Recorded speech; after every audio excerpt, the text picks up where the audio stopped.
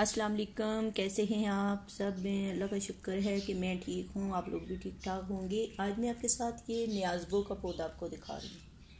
ये चीज़ देखें ये देखें ये छोटे छोटे गमले हैं जिनमें लगा हुआ है। ये ये देख लें आप।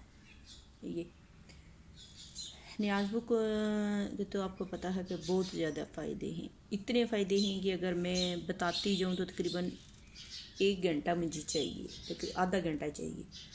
मगर मैं आपको शार्ट सा बताऊँगी, क्योंकि अक्सर लोग कहते हैं, जी, शार्ट करें शार्ट करें तो वो फिर हम दे। मगर शार्ट तो मैं करती हूँ, मगर उसमें आपको पूरी चीज़ नहीं पता चलेगी। न्याज तो पहले बात आपको पता है कि ज़रपा अलैहि वसल्लम की पसंदीदा बूटियों, जड़ी बूटियों में से ये पसंदीदा चीज़ है। एक, दूसरी चीज़ यह है कि सूरत रहमान में इसका ज़िक्र है। दो, तीसरी चीज़ ये है कि न्याजबो जो है ना, हम लोग तो कहते हैं, जी न्याजबो लगा लें तो मच्छर नहीं आते, बस एक मच उसके लिए। न्याजबो बहुत सारी बीमारियाँ जो है ना, बहुत सारी बीमारियाँ। उनमें जड़ी बूटियों की ये माँ है, जो न्याजबो है। इसी से सारी चीज़ बनती है। और बीमारी का जो पहला बीज लगता है, वो पेट से और मैदे से उगता है, जो हमारे पूरे जिसम में फैलता है। ठीक हो गया? न्याजबो की तो पहली चीज़ ये मैं जो पहला आपको बता रही हूँ। आप लोग सुबह सुबह उठे ठीक है? ये आपको नज़र आ रहे हैं ना? ये फ्रेश ग्रीन पत्ते नज़र आ रहे हैं आपको। आप इनको चाहे वो जो भी, जैसा भी हो, आम नॉर्मल बंदा हो, बीमार है भी या नहीं, उसको तीन से चार पत्ते आप धोएँ, अपने मुँह में डालें। अगर आप लोग वॉक कर रहे हैं वॉक करें, नहीं तो फिर भी आप, अगर वापस अंदर जा रहे हैं वॉक नहीं भी कर रहे हैं, अगर तीन से चार पत्ते अपने मुँह में डाल लें, उसको चबाना शुरू कर दें। चबाने के बाद ऊपर से थोड़ा सा पानी पी लें और आपके पेट के अंदर वो पूरे मेहंदी की नाली को वॉश कर रहेगी साफ़ बिल्कुल। एक चीज़ ये है, दूसरी चीज़ ये जो मैं आपको फूल दिखा रही हूँ, ये देखा ना आपने इसका फूल जो निकल आया, ये आपके पास बनी बनाई पत्ती है, ठीक है? क्योंकि पत्ते तो अब इसके ख़त्म हो जाएँगे, ये चीज़ जो है ना दब फूलों पे आ रही है। आप यहाँ से इसको, इन फूलों को तोड़े और ये तो तकरीबन खुश्क भी हैं और थोड़ा सा ही आपको टाइम लगेगा, दो चार दिन में ये खुश्क हो जाएँगे। ये देखें, ये ऊपर, ये वाला भी है।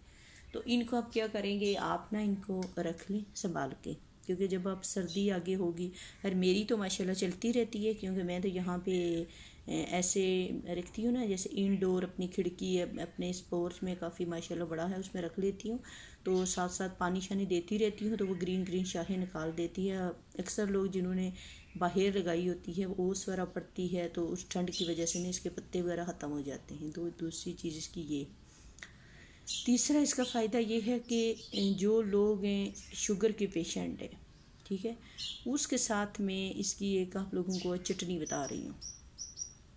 ज़रा गौर से सुनना, और अगर जो वीडियो देख रहे हैं उनके लिए तो मुश्किल नहीं है, वो तो दोबारा भी इसको, जिन्होंने मुझे लाइक वगैरह किया हुआ उनके पास तो नोटिफिकेशन वैसे भी चला जाता है ना, एक एक वीडियो जो ही वो खोलते हैं उनके पास चला जाता है।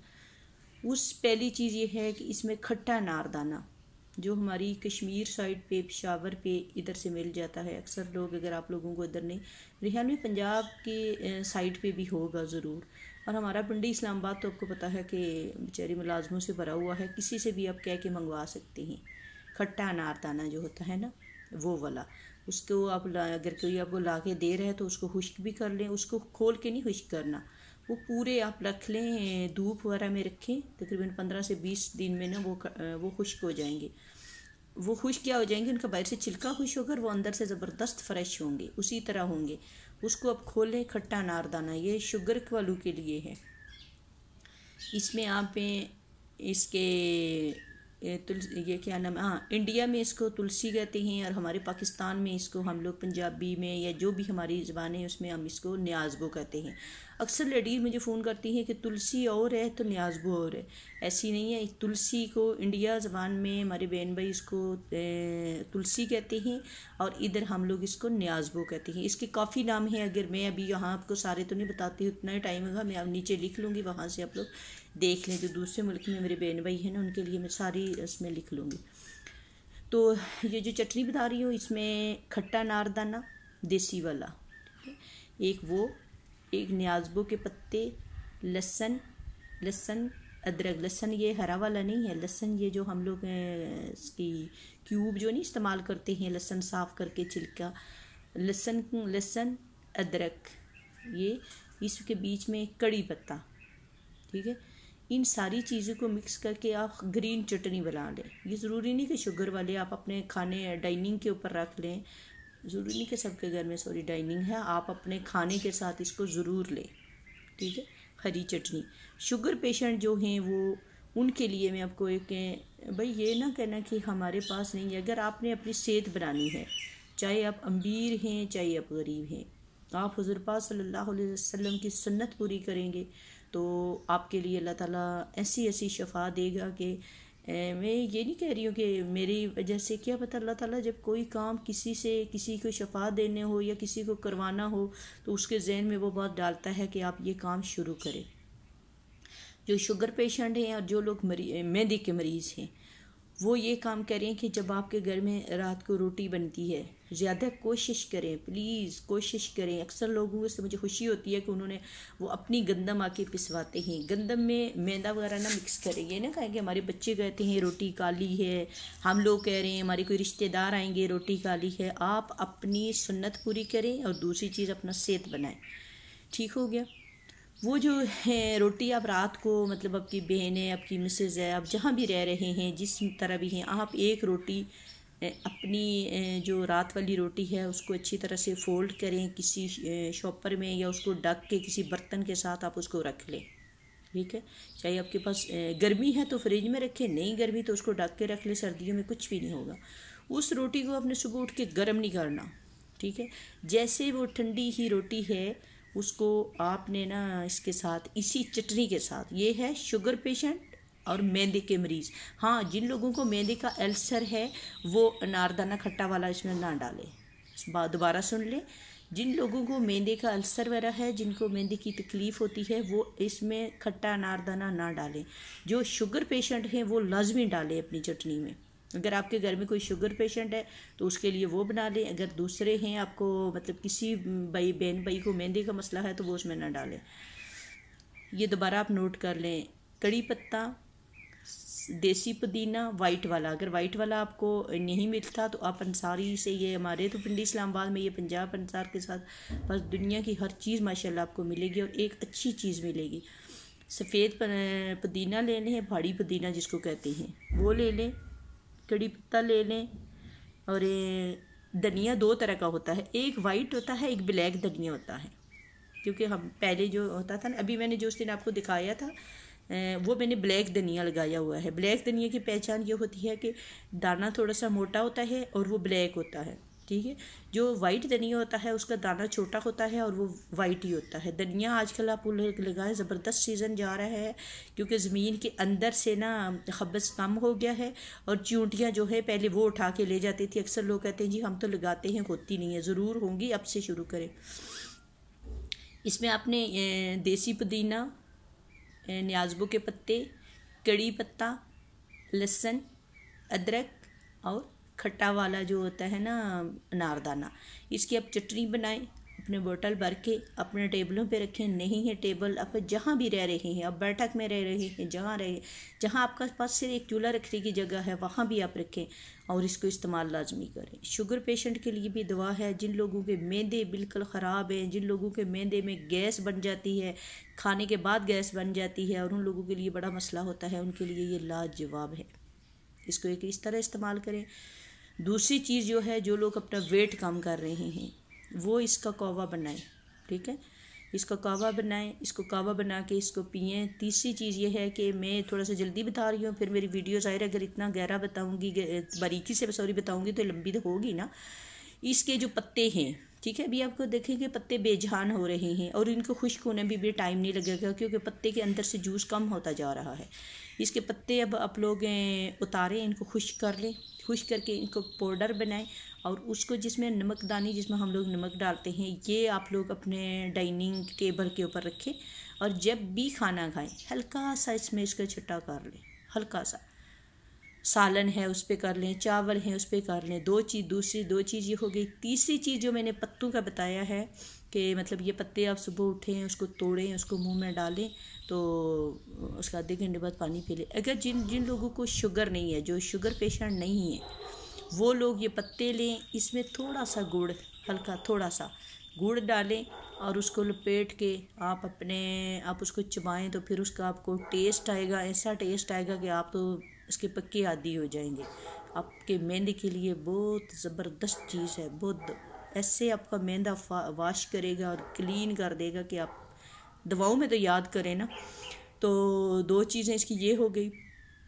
तीसरी चीज़ जो है कि जो लोग, आप कह रहे हैं कि मच्छर के लिए, उसके लिए तो वैसे भी है ना, वो तो आप सबको पता है कि जी है तो हम लगा ले। चौथी चीज़ ये है कि हार्ट पेशेंट के लिए ये एक मेडिसिन का काम करती है, जिसमें मैंने चटनी वाली बताई है, जिसमें मैंने खाली पेट चबाने के लिए बताया है, जिसमें मैंने गुड़ में मिक्स करके आप कपड़े उसके पत्तों के साथ थोड़ा सा बीच पे गुड़ डालें और इस छोटा सा नवाला बनाएँ। जैसे आप लोग पान खाते हैं, इस तरह अपने मुँह में डालें, चबाएँ और ऊपर से पानी पी लें। दो चीज़ें ये हो गई। तो एक चीज़ ये है कि ये जो आपको ये सूखी लकड़ी नज़र आ रही है ना, बीच में छोटी छोटी छोटी छोटी जो है ना, ये शाखें सूख जाती हैं ना, अक्सर इधर एक दो मैंने देखी थी, मैं ये देख लें आप। ये जैसे ये शाख सूख गई है, ठीक है? इस शाख को आप क्या करें कि जैसे आप कह रहे हैं मच्छर है, मक्खी है, जो भी जो भी चीज़ है ना, इसमें छोटी सी किसी पुरानी प्लेट या किसी चीज़ में इसको आप डाल के तो इसको आप हल्की सी आग लगा लें। इसका आप अपने पूरे घर में ना इसकी दूनी दे दें, पूरे घर में। उसमें यह हो गया कि आपके मच्छर, शच्छर ये चीज़ बिल्कुल इस इस तरह नहीं आएगी और इसकी बड़ी अच्छी सी मज़े की ये खुशबू जो होती है ना, वो आपके घर के पूरे अंदर में फैल जाएगी। और ख़ास करके किचन की किसी साइड पे रखें और उसमें ये लकड़ी जो है, इसकी ये लकड़ी भी ज़ाया ना करें। ये देख लें, ये लकड़ी जो है ना इसकी, इसको भी आग लगाएँ। आप आग लगा के तो इसको वहाँ पे रखें। तो ये थी जी मेरी अच्छा दूसरी चीज़ ये है कि मैं सॉरी, पहले भी आपको बताना भूल गई, अब भी आपको बताना भूलना में जी ये होता है कि मुझे ज़रा जल्दी सी होती है ना कि फिर आप लोग कहेंगे, जी, इतनी लंबी वीडियो है, लंबी ना किया करें। उसमें ये है कि अव्वल आखिर, जो काम करें, ये जो मैंने आपको पूरा तरीका बताया, इसके पीछे भी मैंने आपको काफ़ी चीज़ें बताई थी पिंडी वाला, माशाल्लाह पिंडी वाले मेरे बहुत लोगों ने मुझे कहा है कि उससे हमें काफ़ी फ़र्क पड़ा, वही आप, आपको बहुत फ़र्क पड़ेगा। जो भी काम करें, आप ये खाएँ, जिस तरह इस्तेमाल करें चटनी, आप अव्वल आखिर त्री, तीन दफ़ा दरूद इब्राहिमी लाजमी पढ़ लिया करें। फिर आप अब उसमें शफा देखें। आपको मैं माशाल्लाह माशाल्लाह ऐसी ऐसी चीज़ें बताऊँगी कि आप जो गरीब लोग बेचारे हैं, जो इस तरह मेडिसन वगैरह ख़रीदना उनके लिए मुश्किल है तो ये चीज़ें उसका मैं इनको इलाज यहाँ से बताऊँगी। ठीक हो गया जी? तो अपने घर में ज़रूर लगाएँ। इतना महँगा नहीं है, ये दो ढाई तीन सौ का पौधा है। अगर आप लोगों की क्यारी है तो क्यारी में लगा लें, ठीक है? उसमें लगाएँ। और ये मैंने आपको चीज़ ज़बरदस्त बता दी कि ये एक पत्ती आपको मिल गई है, इसको तोड़ें, इसको खुश करके किसी ऐसी चीज़ में रखें जब सर्दियों में मतलब आपके पास ये नहीं होती। सर्दियों में तो आपको पता है ना कि अक्सर दरख्तों के हाथ खाली हो जाते हैं। तो उनसे हमें पहले फ़ायदा उठा लेना चाहिए ना। हम जो चीज़ मतलब नहीं है तो हम उसको पहले स्टोर कर लेते हैं। इस तरह ये चीज़ आप रख लें। ये ये जो मैं आपको इसके पत्ते दिखा रही हूँ। तो वेट कम करने के लिए भी ये बहुत ज़्यादा ज़बरदस्त है। जितने तरीके मैंने इसमें आपको चटनी वाला बताया है, खाली मुँह चबाने के लिए बताया है, उसके अलावा इसको कौवा बना के पीने के लिए बताया है, ये सारी चीज़ें जो है ना, ये वेट कम करने के लिए हैं। ठीक हो गया। ये थी जी मेरी आज की वीडियो। इन रोज़ की तरह यही आपको कहती हूँ कि अस्तफ़ार की तस्वीर कर लिया करें और उठते, बैठते अस्तफ़ार की एक तस्वीर लाजमी किया करें। सुबह सुबह अगर आप किसी के यहाँ जा नहीं सकते तो आप सुबह बखैर का एक मैसेज भेज दिया करें ताकि कोई कहे कि हमें भी कोई याद करता है। ठीक है ना? जो आपके रिश्तेदार हैं, जो आपके बहन भाई हैं, जो दूसरी जगह पे हैं, ताकि वो, फिर उनको पता क्या होता है? उनको एक तसली हो जाती है, जी हाँ वो हैरियत से हैं, उनकी तरफ़ से मैं सुबह बहर का मैसेज आया।